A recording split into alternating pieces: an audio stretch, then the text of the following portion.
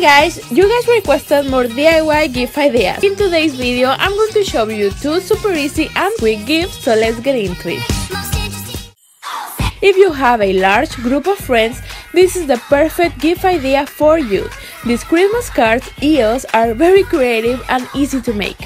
You will need to print in cardstock paper a Santa's face or a reindeer or a snowman and I found all of these cute images in one of my favorite websites that is graphicstock.com. This is a website full of royalty free vectors, photos, wallpapers, graphics, and more. There's a ton to choose from, and they are always adding new content, so the library is always fresh and new, and that's what I like about this site. And you guys know that I have been subscribed to this site since a long time ago because all of these images help me to make some DIYs or even to edit my thumbnails or videos.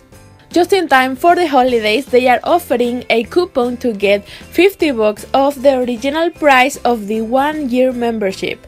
This is a deal that you can't pass up and which is exclusive for all of you guys here.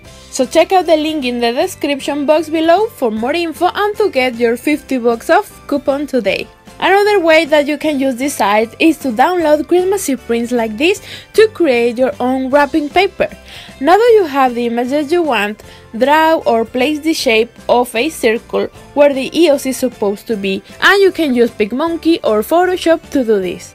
And this is so you can have an idea of where the EOS is supposed to be.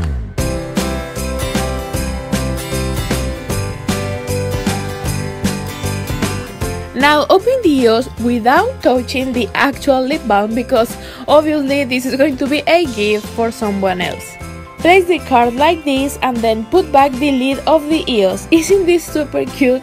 You can use a pink EOS for Santa's nose, a red one for the nose of the reindeer, and a blue one for the body of the snowman. And you can stop here, but if you want, you can put this card in a clear bag and add a little bow or a ribbon and you are good to go. Super simple, but just cute. And the next gift idea is my favorite because it's a quote pillow. I found this on Tumblr and I fell in love with it.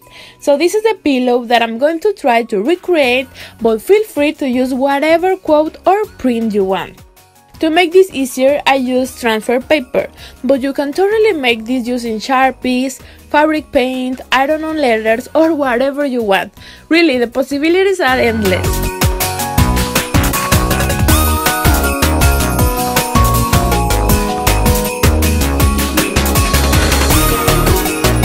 I'm super happy because this pillow looks exactly like the one on the photo and I'm sure my best friend is going to love this gift. And those were the gift ideas for this video. I still have a lot of gift ideas on my mind, so let me know if you want to see more. I love you guys so much and I will see you in my next video. Bye!